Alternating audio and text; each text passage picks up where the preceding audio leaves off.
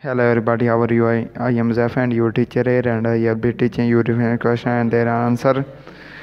So our today's question is the projected growth in buyer demand for branded athletic footwear is Asian 3 5% annually in North America and Europe, Africa in years 16 20 and 7 9% annually in Latin American and the Asia Pacific regions in years 16 20 Ocean 69% annually in all of four geographic regions during years 11 15th and 47% annually in all four regions during years 16 20 c 57% annually in North America during the year 11 15th periods and 4th 6% annually in North America during the year of 16 20 period duration 10 12 annually in Europe, Africa, and the Asia Pacific during years 11 15th